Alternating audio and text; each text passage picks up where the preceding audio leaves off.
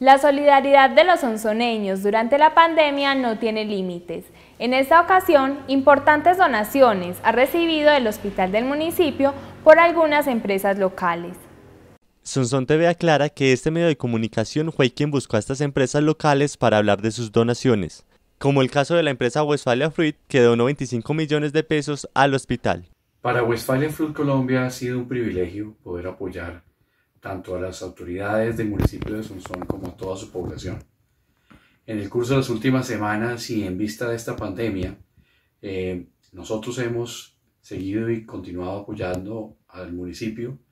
Hemos realizado algunas actividades en conjunto con nuestros colaboradores eh, y sobre todo hemos hecho partícipe a muchas familias del municipio de Sonsón en este momento difícil que atraviesa la sociedad. En esa misma idea decidimos eh, la semana pasada apoyar en forma muy decisiva al hospital del municipio.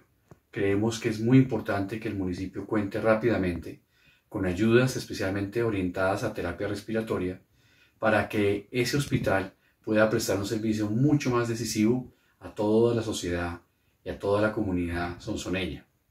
Queremos invitar a otras empresas a vincularse de la misma manera para ayudar y apoyar y acercarse a las directivas del hospital, a los médicos, a sus funcionarios, para que conjuntamente puedan entender las necesidades más apremiantes, que puedan atender las urgencias inmediatas de la comunidad sonsoneña.